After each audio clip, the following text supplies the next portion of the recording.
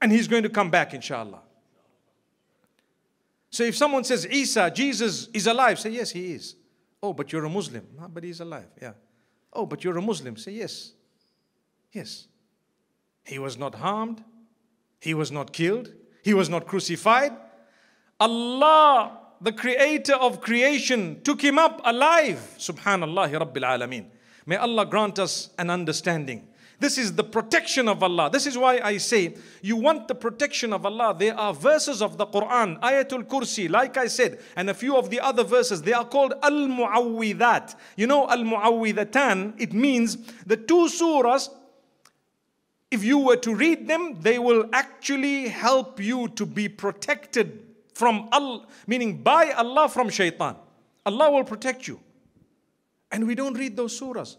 قل أعوذ برب الفلق من شر ما خلق ومن شر غاسق إذا وقب ومن شر النفاثات في العقد ومن شر حاسد إذا حسد protection from jealousy protection from black magic protection from the darkness from the evil that happens in the dark you know in the dark a lot of evils happen I, you know when I was little I used to wonder why do they call it a nightclub why do they call it a nightclub? They don't call it a day club, afternoon club, morning club. No. Because it's only at that time when Rasulullah says, after Isha, if you don't have anything constructive to do, go to bed. That's the time shaitan comes out in the dark. So we say, Oh Allah, protect me from the evil of the darkness. When it's dark, you need to save me from this darkness. A nightclub. Nightclub. If you can, if you can go to bed at night, inshallah, there's no morning club, there's no afternoon club, nothing else. May Allah grant us goodness. But we don't read those surahs, we don't know the meaning of it, and those are the short, beautiful surahs. Qul a'udhu bi rabbin nas, malikin nas, ilahin nas. Oh Allah, the, uh, the, the creator of mankind, the king or the owner of mankind, and subhanallah, the lord of mankind, protect us from the evil of the same mankind. And protect us from the evil of jinn kind and mankind. Protect us from the waswas that happens the devil that causes the evil thoughts within the hearts of man. Someone sees you, wallahi, they see you in a good condition, smelling good, they are burning because the scent is a little bit too sweet for them to afford.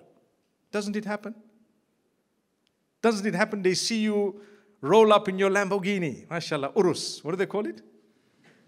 And instead of anything, they just look at you and they are burning within. They can't stomach it. Why? Why? That's waswas al khannas.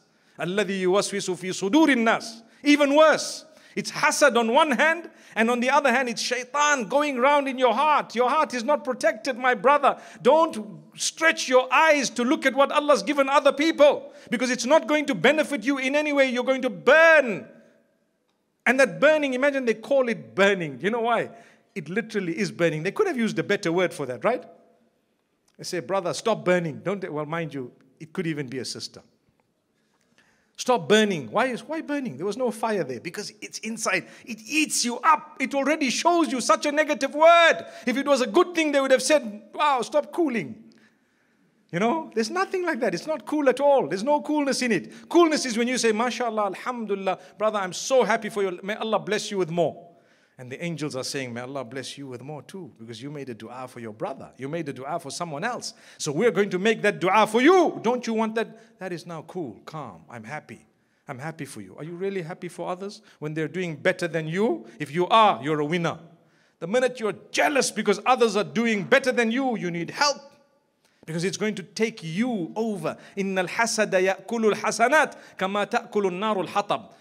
the hadith says jealousy eats away at the good deeds, similar to the fire when it eats away a dry log. If jealousy eats your good deeds, imagine what it does to you as a person.